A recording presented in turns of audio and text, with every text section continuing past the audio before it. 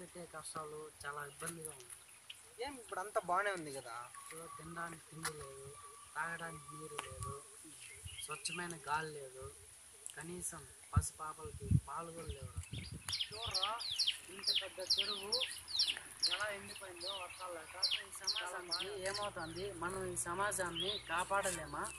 లేదు. నువ్వు చెప్తా అంటే నాకు తెలుస్తుంది దేవుడు చాలా కష్టాలు తెచ్చిపెట్టినారా మనకు?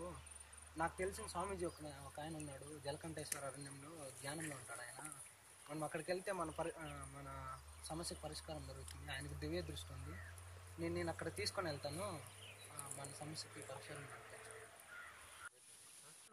ఎప్పుడో ఎందుకురా? మన ప్రపంచాన్ని కాపాడడానికి మన సాయశక్తిలో పైకి వెళ్తాం ఇప్పుడే వెళ్దాం కదా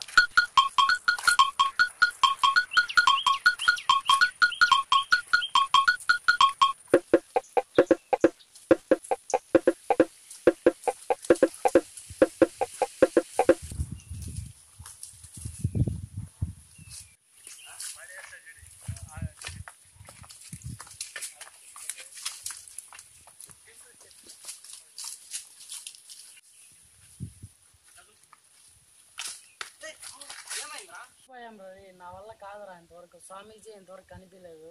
నేను నేను రాను రవి ఏ వచ్చేసాం రా. ఇక్కడే ఎక్కడ ఉండాలి స్వామి? కొంచెం దూరం ఇంత దూరం వచ్చినాం కదా. ఇంకొంచెం దూరం ఉందా? కర్ర తీసుకోపోదా అక్కడ ఎవరో ఉన్నారా అక్కడ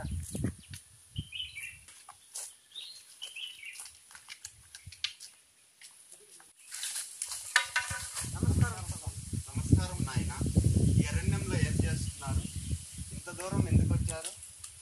స్వామి మేము జ్ఞానేంద్ర స్వామిని కలవడానికి వచ్చినాము. మాకు దారి తగలట్లేదు ఎంత దూరం వచ్చినా ఎక్కడ కనిపించట్లేదు మాకు. అవునా? నేను ఆయన పూజ కోసమే పూలు పళ్ళు కోస్తున్నాను. నేను మిమ్మల్ని నేను తీసుకెళ్తాను ఆయన దగ్గరికి. సరే స్వామి.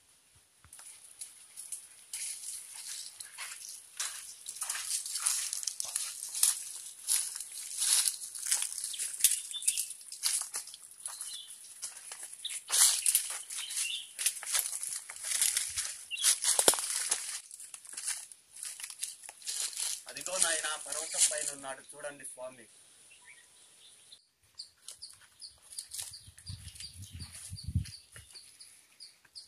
కొత్తగా రండి నాయన.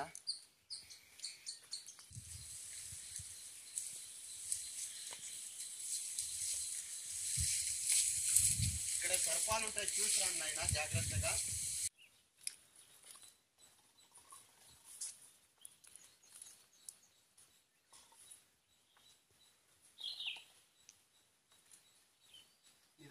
రండి నాయన.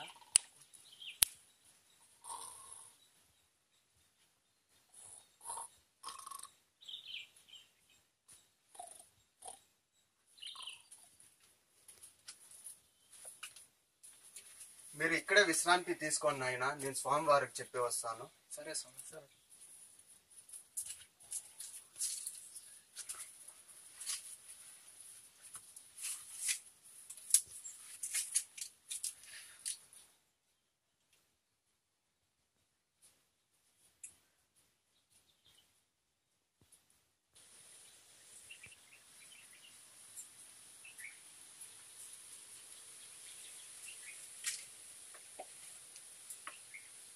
స్వామి స్వామి మీకోసం ఎవరో ఇద్దరు వ్యక్తులు వచ్చారు. తీసుకురమ్మంటారా? తీసుకొని రా నాయన. అలాగే స్వామి.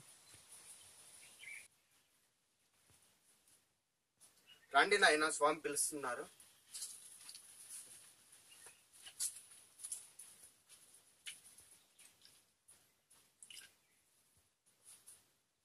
స్వామి మీతో పని నుండి వచ్చాము సమస్య ఏమిటంటే నాకు అన్నీ తెలుసు. ప్రపంచంలో జరిగేది జరగబోయేది అన్నీ నాకు తెలుసు. నువ్వు నాకు చెప్పాల్సిన అవసరం లేదు. నువ్వు ఎందుకు వచ్చావో అది కూడా నాకు తెలుసు. సరే స్వామి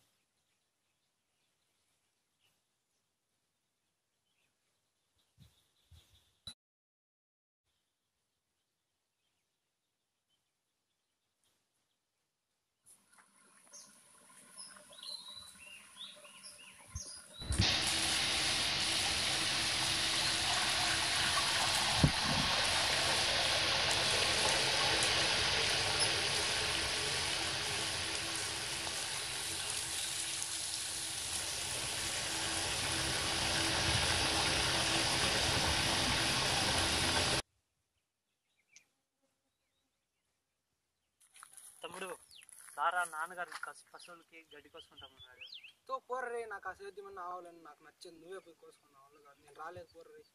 కర్మ యాడ మనిషి మనిషిగా జీవించడానికి ఐదు అవసరాలు చెప్పండి నాయన. తిండి నీరు గాలి నీడ వంశాభివృద్ధికి స్త్రీలు. అంతే కదా నాయన? ఎవరు మొక్క నాటుతారో వారికే ఫలం ఆశించే హక్కు ఉంటుంది. అవునా? అవును స్వామి. ప్రపంచంలో ప్రజలందరికీ పాలు కావాలి.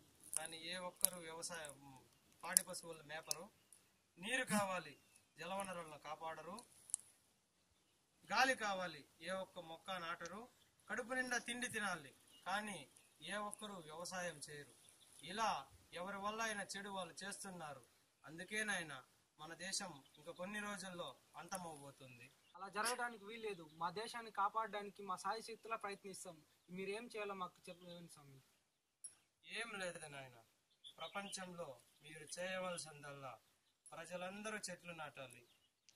అవి పెరిగి మిమ్మల్ని కాపాడుతాయి. వీలైనంత వ్యవసాయం చేయండి. వీలైనన్ని పశువులు మేపండి. జల వనరులను కాపాడండి. ఆడపిల్ల పుడుతుంటే సంతోషించండి. అంతేకాని ఆడపిల్ల పుట్టక ముందే చంపేయద్దండి. ఇలా చేసుకుంటూ వెళ్తే మీరు మన దేశం కొన్ని రోజుల్లో అభివృద్ధి చెంది పంటలు బాగా పండి సస్యశ్యామలంగా మారబోతుంది. అంతేకాని మన వల్ల ఎంత మంచి చేయడానికి అవుతుందో అంతే మంచి చేయండి. మీ వల్ల ఎంత చెడు అవుతుందో చెడు చేయొద్దండి. స్వామి మేము వెళ్ళి ప్రజల్లో ఈ విషయం గురించి అవగాహన కల్పించి వాళ్ళలో మార్పు తీసుకొని వస్తాం. మంచిది అలాగే చేయండి. భావి తరాల పౌరులుగా వర్ధిల్లండి.